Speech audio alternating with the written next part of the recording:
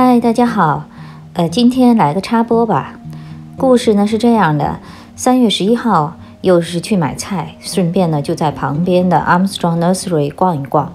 当时呢推车都没拿，信步的就走到了茶花的区域，看到了两个茶花的品种，真的很漂亮。再一看价格都是几百块，实在是舍不得。其实对于不管什么花，我这个人对于花苞的喜爱，有的时候甚至超过了花的本身。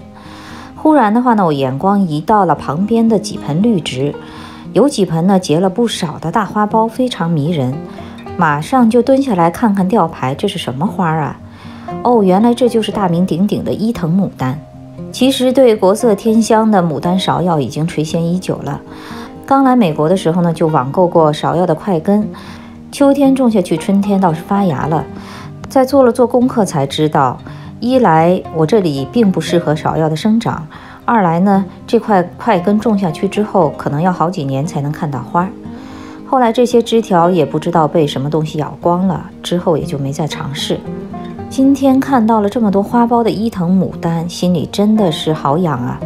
看了吊牌呢，当时有四个品种，现场马上就拿出手机查了查每一个品种的花是什么样子，而价格其实也是很贵啊，五加仑的盆。九十九刀，我在那里真的徘徊了有半个多小时，终于咬牙去拿了推车，抱了两个品种回来。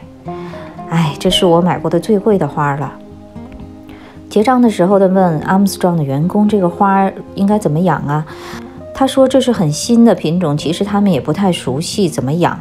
但是呢，他说应该不难养，因为这些花来的时候呢，就是一盆土。他们也不知道是什么，就按常规来浇水，然后这些枝条和花苞就自己长出来了。那么听了这些的话呢，我也有点信心了。我选了两个品种，一个就是图片里的 Julia Rose，另一颗呢是白色的，叫 Cora Louis。买回来十二天以后，Julia Rose 开花了。牡丹就是牡丹。虽然只开了一朵，却是国色天香，香气浓郁。呃，这个香气很奇特，像一种草莓的香气。看这个品种的介绍呢，它的特色就是花朵的变色。果然，花朵全部打开以后呢，颜色就变浅了，变成浅黄色，花儿也显得更大了。在二十几度的天气下呢，单朵花可以开一周，也还真不错。回到我们真正的 rose 月季。Amazing Grace 总是让人看不够。一天一夜的雨后呢，花中充满了雨水，太重了，垂了头。突然就想，我干脆把这朵花剪下来吧，去和牡丹比比大小，比比美貌吧。雨后的牡丹瞬间打开了好几朵花，真的是美得不可方物。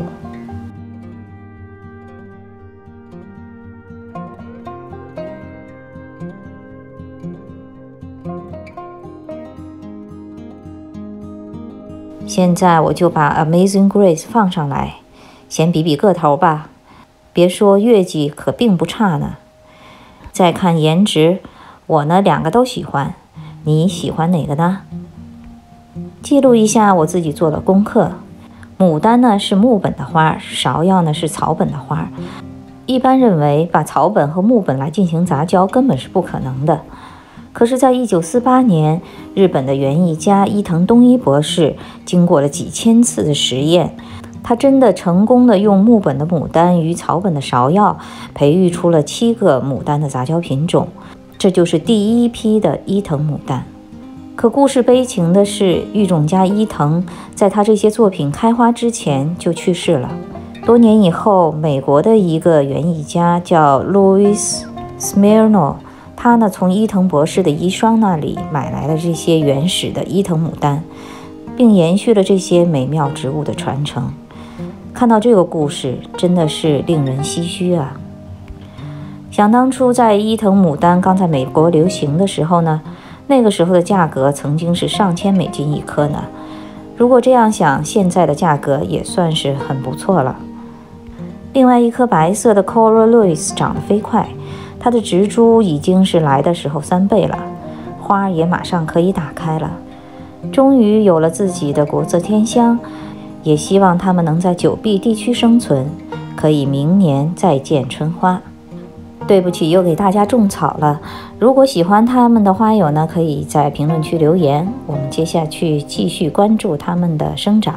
今天就到这儿吧，周末愉快，下次再见了，拜。